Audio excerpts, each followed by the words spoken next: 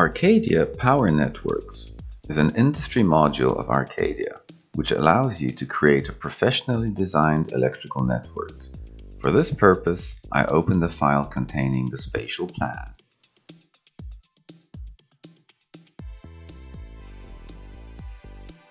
Next, I find the Electrics tab, the Power Networks. The first element that we will put in, in our case, it will be the transformer.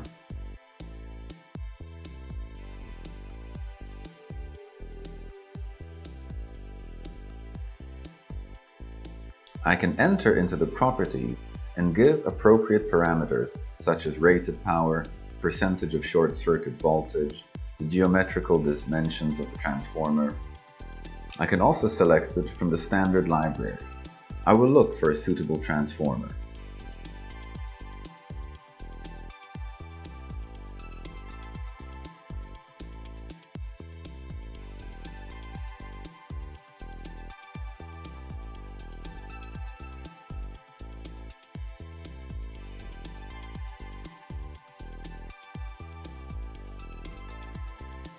After selection, the parameters are automatically added according to the manufacturer's catalogs. I click OK and locate the transformer in our view.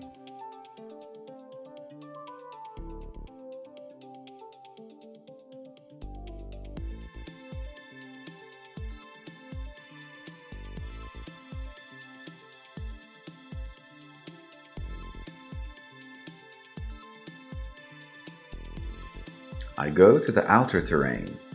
I have a transformer inserted. The next element will be the cable connection.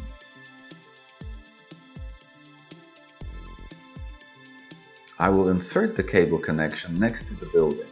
I will change the hook point to the corner so that I can more easily get the connection to the existing wall.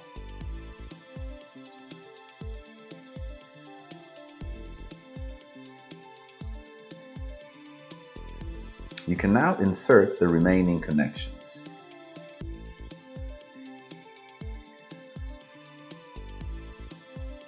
You can now see the parameters of the cable connections. After double-clicking, we have access to the connection parameters. Such parameters as geometrical dimensions, level of installation, earthing, these elements can be added here in the window or, for example, the protection rate.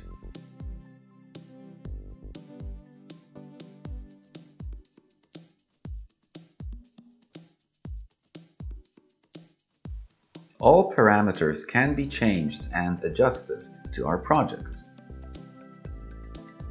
Next, we select the buried line and set its parameters accordingly. Firstly, we can specify that it has an initial protection. Let's go to the protection properties and here we can see the protection from the database. We can find that protection and we can choose it. Click OK.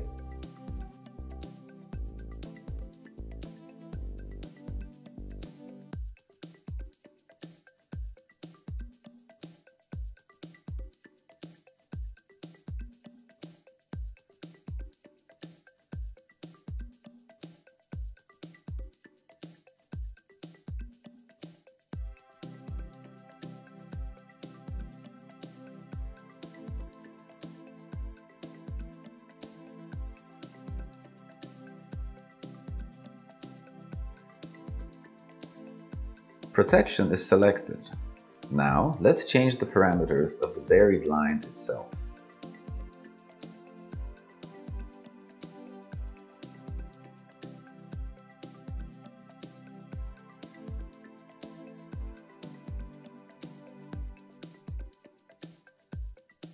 Phase structure and I have the parameters set. Click OK. We connect our transformer with our cable connection.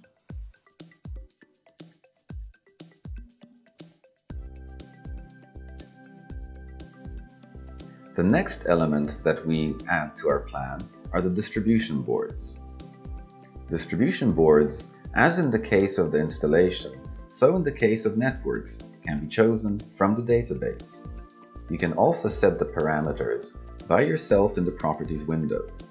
We can change these parameters, for example, power rating. We can also change the size of the switchboard.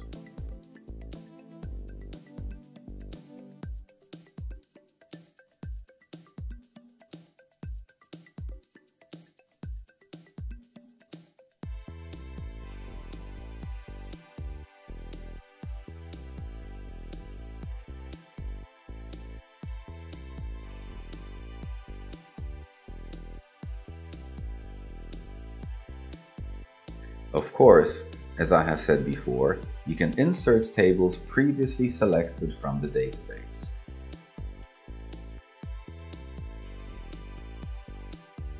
Click OK.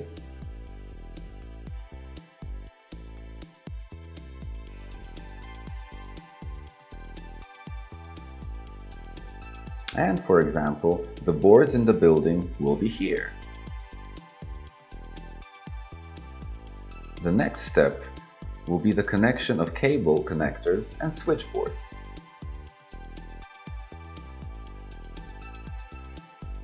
I choose the buried cable and go into the properties. I will change the installation material, multi-conductor cable. Maybe it could also be a cross-section. I will leave the remaining properties. OK.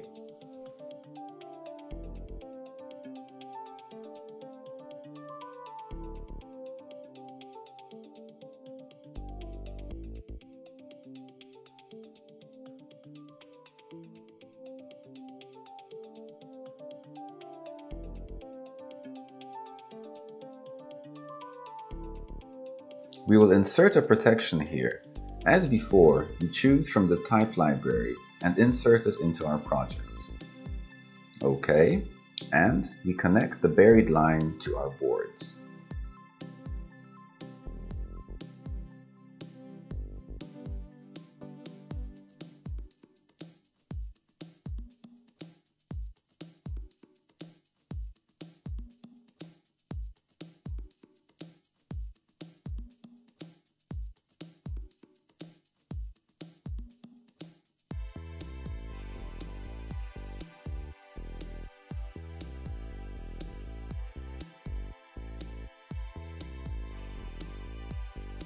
We can actually connect the cable connection at once.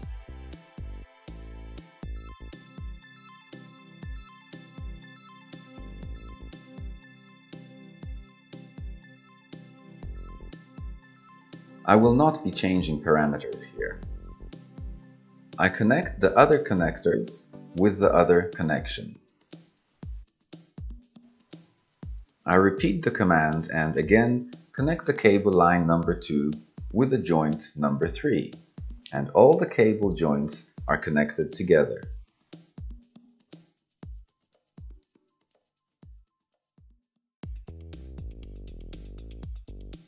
Now we have the final elements left. We can insert a list of materials.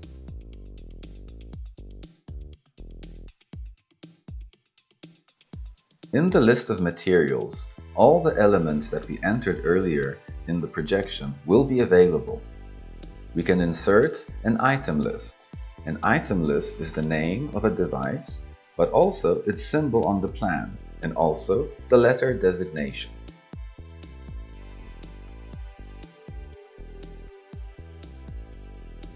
Finally, we will generate a network diagram. Mark the start element and insert the schematic. This schematic diagram, at this point inserted in centimeters, that is, in the default unit of the program.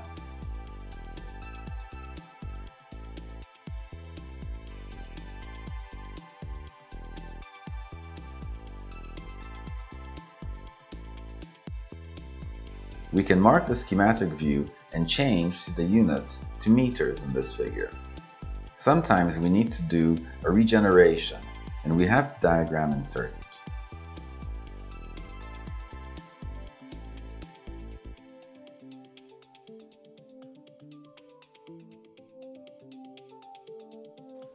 Now, the last element is the insertion of the network verification reports.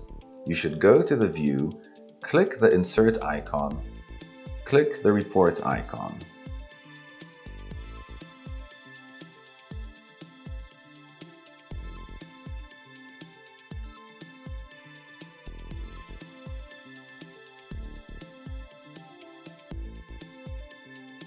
We see all three of our circuits to each board, and now the RTF report.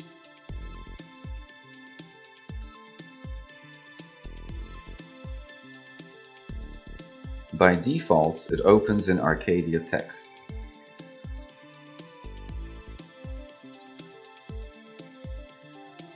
And this is how the report from your installation looks like.